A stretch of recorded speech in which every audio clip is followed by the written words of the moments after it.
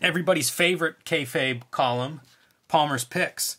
This Palmer's Picks is about Christmas recommendations. So he goes through and recommends several books, most of which we have talked about up to this point in previous columns. Um, we can kind of run through some of those. Uh, the first one he recommends is Cerebus, and specifically he talks about like the big phone book collections that we've mentioned. These are big collections of, of longer stories that ran in the Cerebus monthly book. A couple of good starting points Jaka's story or Melmoth. Melmoth was my first Cerebus read, and I would recommend that. It's an interesting book, stands on its own pretty well. He recommends Jeff Smith's Bone. Um, we mentioned this last week, and it's still in its infancy. I think there are six or seven issues out at this point. Yeah. So he recognizes pretty early on it's a special book. And we're going to see more and more coverage, of course, as Wizard goes on. Uh, that is a book that catches catches fire. Bone is one of those uh, phenomenon that that even when we speak to Jeff Smith, he can't like clearly let you know like what the what caused the tipping point.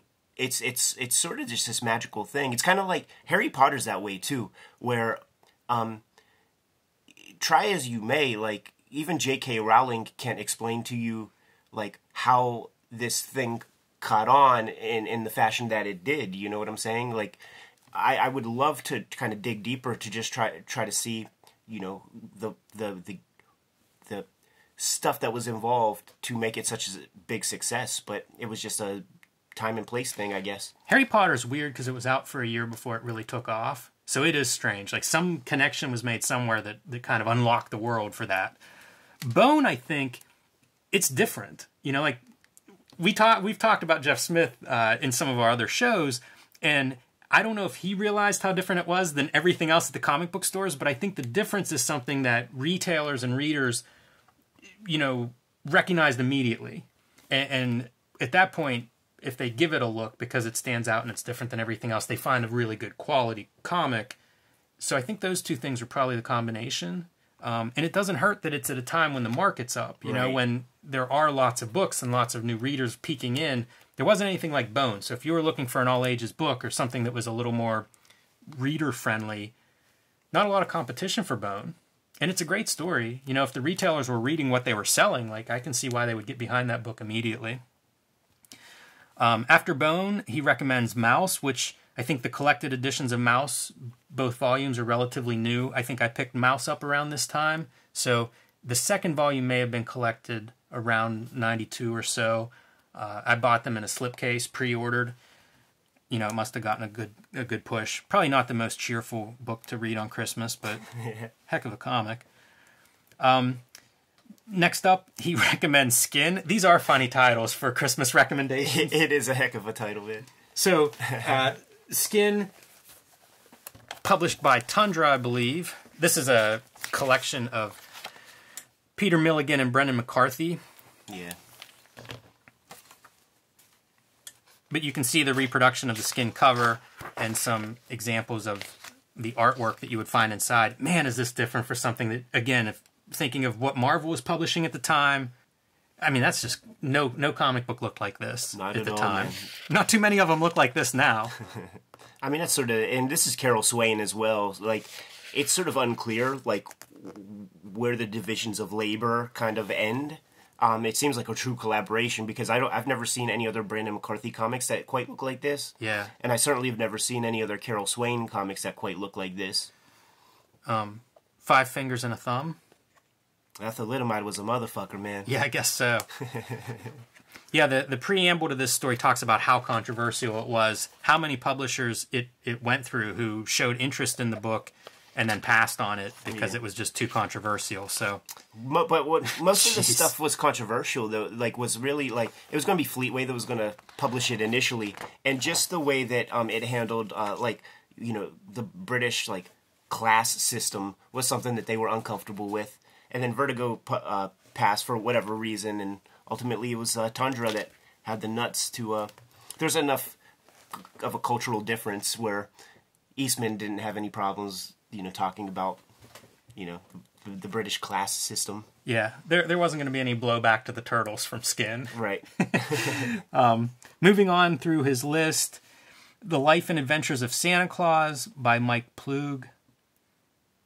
Maximortal by Rick Veitch. We're going to be um, looking closer at Maximortal in the coming months. That's something that uh, Tom Palmer indicates here at the end of the article that there is a uh, Rick Veitch column, you know, focusing on Rick Veitch coming up. That's going to be a fun one for us to get into. Yeah, absolutely. But again, that's a funny Christmas book to open. It's a lot of a lot of violence in those books. Mike Allred's Madman, uh, specifically Madman Adventures, which is a new color series, and Frank Miller's Sin City, which I guess was recently collected in a book. You know, it had run in serialization in Dark Horse Presents, collected in a book. This was a book that my first comic book store, which was not much of a comic book store, is kind of a closet. Uh, but he would do shows. You know, a lot of comic book stores will go to comic book shows to sell more, to buy more. Sin City was a book that was on my list. As like, dude, please find this book. And it took him a while, but he did find me one. Um, I was just so excited for for Miller Sin City around this time period. So this is uh, 1992, and I, I would say that 1995 that was like the best Christmas I ever had, right? And I'm so deep into comics at that point in time, and I had all comics on my Christmas list. So the stuff that I got sort of mirrors a lot of these Palmer's picks. I got like every uh, Cerebus trade that was available at the time, which is probably 10, 10 books or so. I got um, the hardcover for uh, Big Fat Kill, would have been out in like December 95. Um, I already had Dame to Kill for and the the Sin City original book, but that um, winter was the winter that Silent Night came out, so I got that one. It was brand new. That was like the first like brand new Sin City comic I got. I got uh, four trades of uh, Appleseed, like the complete Appleseed translation that that Dark Horse did, and then um, I got the uh, the Mad the Madman issues from Dark Horse that I needed. Like I started collecting it at about eight or nine, so like the earlier ones kind of came, uh, you know, from Santa Claus and stuff like that. Um, but that is like the era when I was all in with comics. There was no more buying toys. There was no more buying video games. It was all art supplies and comics from December 95 forward. Basically like all of 95, you know, forward. It's like serious business business. I'm going to grow up to become a cartoonist and I wanted like a nice wide uh, library of stuff to look at. You know, That is a great collection of stuff. It is pretty pretty pretty broad for that time period. it sort of put me on the radar here in town with the comic shops. Yeah. because like there are these like two parents like coming to these shops like you know with a list and all the shop owners were like who the heck what's your kid who's How your kid old is he? yeah like like who the heck is and and so like after um i got all those books man like my parents like they took me to the comic shops and like introduced me to like the shop owners and shit like that and to this day i still know these people That's man awesome. and, and have great relationships with those guys man It's it's interesting because some of those stores they have to judge, right? Why if you worked at a comic book store, you'd have to judge, you know, the books you like or think a lot of. You know, you couldn't shut that off.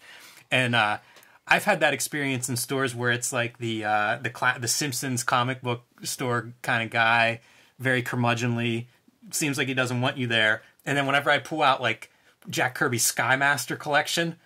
Totally changes, man. Just instantly thaws out, and it's like we're on the same team. um that sounds like a real story That I- is a real story. D- did it happen at Eide's? Yes. Okay, like so, like when I was a little kid, it's the the Kirby is the the the key the, to to like get in because when I was a little dude, like I had um in you know I. I make it a point to go there and raid the comics that are under the stairs because they're like 25 cents, and you will always find Kirby comics from the 70s forward. And I, I would just grab all these Kirby comics. And I'm saying, like, when I was like in 95, like 12, 13, and I show up, you know, to the front with like the Kirby comics, and then the dude would be like, Well, I didn't. And it was that guy that lisps, you know, and he's like, well, I didn't process all these comics yet, and and like he had a bunch to the side and like hooked me up at like a great discount with all this other Kirby stuff, you know. So he's like saw like punk little kid, and who's reading good shit by his approval right, status, right. and then and then it's all good from that point forward. You had to keep your image books on the very bottom of that stack. I would get those from Phantom of the Attic because they were far less judgmental with me because they got the bulk of that uh,